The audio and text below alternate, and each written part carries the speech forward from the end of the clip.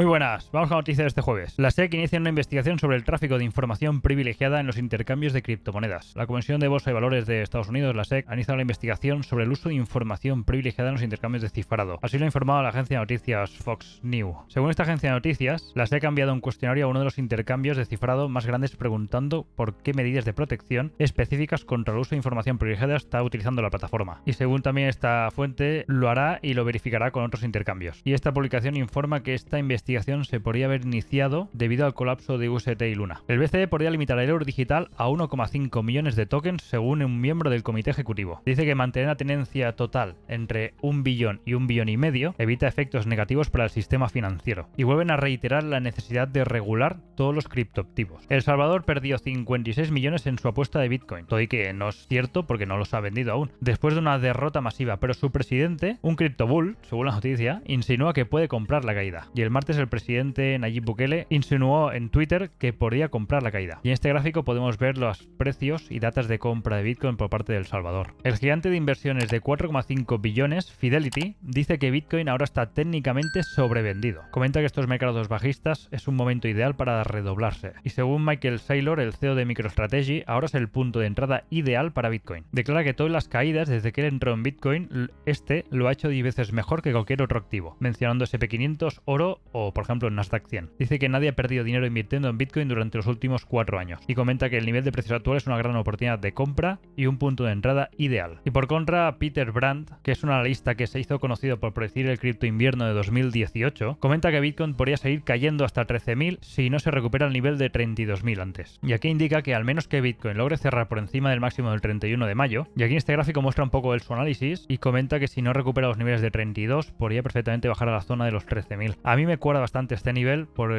todas las liquidaciones que hay por el camino y las liquidaciones en cascada que se pueden producir si llega el Bitcoin a esos precios. Y comenta que este cripto invierno quizás dure unos meses más y que a partir de 2024 puede volver a ver Bitcoin en un nuevo máximo histórico. Y el fundador del intercambio Huobi, el señor Du Yun, dice que el 2024 también será un buen año para Bitcoin. Afirma que el halving está previsto para ese año y será el principal catalizador para el inicio de una nueva tendencia alcista en el activo. Y también tenemos comentarios de Bill Gates sobre los NFTs diciendo que se basan 100% en la teoría del tonto mayor. Esto refiriéndose a los NFTs de los monos y el señor Bill Gates con sarcasmo comenta que obviamente las costosas imágenes digitales de monos van a mejorar el mundo inmensamente. El equipo de Hardball advierte sobre una vulnerabilidad presente en monederos de Brave, Metamask y Phantom. Si es cierto que no ofrecen detalles y mejor para evitar posibles hackeos y se aprovechen esa información, dicen que todas estas vulnerabilidades ya han sido informadas a las empresas responsables de los monederos y estas ya están tomando cartas en el asunto, publicando los mismos datos en sus respectivas web. De hecho ya lo publican ellos mismos en su página web, el problema que puede haber con Metamask y otros navegadores. Metamask ya advierte que es cierto y sobre todo afecta a las versiones antiguas de Metamask. como recomendaciones dicen de intentar tener los equipos limpios de virus, ya que estas vulnerabilidades dejan expuestas el código semilla de los monederos. Y ya equipos como Metamask y Phantom ya han lanzado sus parches para sus monederos. Binance, Kraken y Polygon aceleran la contratación en respuesta a los recortes de empleo en toda la industria. Ya vimos como Coinbase, BlockFi y Crypto están haciendo ajustes de plantilla y por contra estas tres compañías están ampliando la plantilla. En caso de Binance comentó a Coindesk que tiene más de 2.000 puestos vacantes. Por otra parte, Kraken anuncia que tiene intención de contratar a 500 empleados. Y Theory Arrow se enfrenta a una posible insolvencia tras liquidaciones imprevistas, según este informe. Los rumores que giran en torno a las liquidaciones e insolvencia de esta compañía está dando mucho de qué hablar. De hecho, los fondos de Celsius representan una proporción significativa del valor total bloqueado en varias plataformas del ecosistema DeFi. De hecho, este criptofondo con sede en Dubai se enfrenta a una posible insolvencia después de incurrir en liquidaciones de al menos 400 millones de dólares, según informe de blog este miércoles. Y uno de los fundadores de la firma, el señor Zhu, en Twitter ya comentó que estamos en el proceso de comunicarnos con las partes relevantes y totalmente comprometidos a resolver esto. Por tanto, es oficial que tienen problemas. Por tanto, tenemos que el cofundador de Zuyu lo confirmó que el fondo 3AC está luchando, pero no abordó los rumores sobre insolvencia. O sea, los confirmó, pero no los aclaró. Y la comunidad llamó la atención en las redes sociales después de que los datos de la blockchain mostraran que están vendiendo todas sus posiciones en Ethereum. Y Ledger comienza a permitir que los inversores de ADA Cardano compren envíen y reciben directamente en Ledger Live. Se ve que Ledger finalmente ya ha agregado soporte para Cardano. Y Celsius nombra a Citigroup para asesorar sobre posibles soluciones después del congelamiento de retiros. Siguen los retiros congelados y de mientras Celsius sí que parece que está haciendo algo que no hizo Terra Luna, que quizás está bien, que es congelar, parar y empezar a buscar soluciones antes de reabrir y puedes encontrar con el problema y problema bastante gordo. Y este caso está pidiendo ayuda a Citigroup, también está contratando a expertos en insolvencia y están reestructurando un poco toda su estructura y toda su funcionalidad para ver si pueden evitar la liquidación masiva y poder ser solventes y poder tener esos fondos de todos sus clientes disponibles en su balance. Pero Citigroup dejó claro que no van a hacerse cargo del balance, que es lo que pone aquí. Y el suministro de moneda estable disminuye durante un trimestre por primera vez en la historia. Seguramente el colapso de Terra puede tener un impacto en la percepción de la moneda estable por parte de los participantes del mercado. Y la moneda estable USDD de Tron lleva tres días por debajo de su valor de un dólar. No ha podido restaurar la paridad con el dólar y la cuestión es que utiliza el mismo modelo algorítmico de acuñación y grabación de Terra USD. O sea, para mantener la estabilidad lo que hace es vender Tron para poder comprar USDD. Siempre que el precio de USDD está por debajo del dólar, el sistema permite quemar USDD para convertirlo en Tron por la cantidad equivalente o a la inversa según está por encima o está por debajo. Y ayer, por ejemplo, Trondao, la fundación de la Trondao,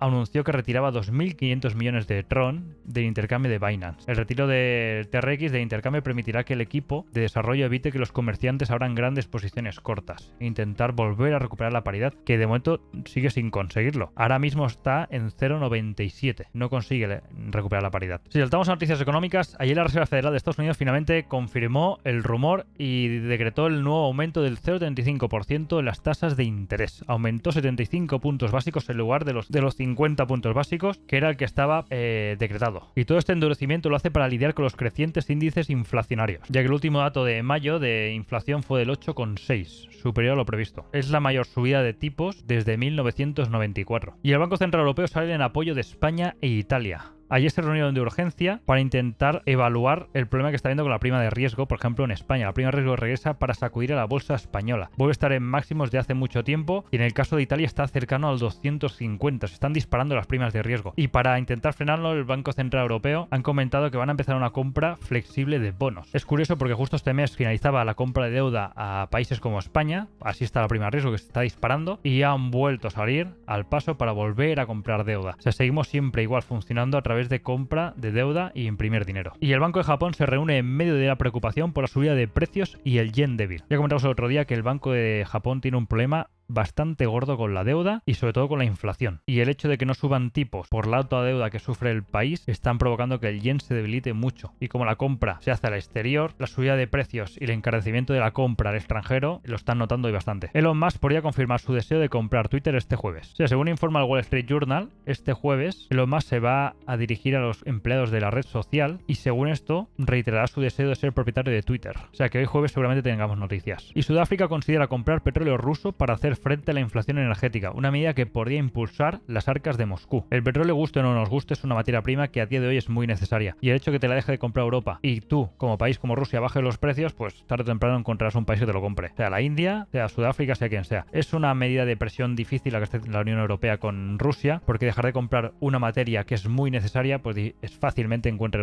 otro comprador. El índice de medio codicia está en 18 en el mercado tradicional y las criptomonedas está en 7. Y para el día de hoy, para jueves, hoy tenemos decisión de tipos de interés, pero Inglaterra, por tanto vigilar hoy, operar y todos los cruces que tengan que ver con la libra, y datos de desempleo en América por la tarde. Pero repasando un poco análisis técnico, vemos a Bitcoin. Hay que tener en cuenta que después de una noticia como ayer de la FOM, mmm, viendo el histórico, el día después siempre de una comparecencia de la FOM, el mercado suele subir. Por tanto, en principio, hoy jueves podría ser alcista. Pensar que normalmente los efectos de una noticia como la de ayer suelen notarse durante los siguientes 48 horas. Por tanto, estoy un poco esperando que el mercado se reubique y muestre sus intenciones reales. Si repasamos el SP500, de hecho, realmente yo para ayer eh, me esperaba bastante más movimiento. Si tuvimos un movimiento, bajo mi opinión, muy, muy triste. Me esperaba mucho más volumen, ya sea rompiendo abajo o rompiendo arriba. Realmente me esperaba mucho más movimiento, mucha más entrada de volumen. Y hubo un movimiento bastante tímido. Y desde ayer ha empezado a caer caer, a caer, a caer y está empezando a testear los soportes que dijimos de 3700, que es un soporte bastante importante, que no están posicionados, todo lo que es las opciones compradas a put y vendidas a call, que es justo lo que yo me esperaba ayer. Yo realmente ayer me esperaba que el precio aquí viniera a romper abajo, limpiara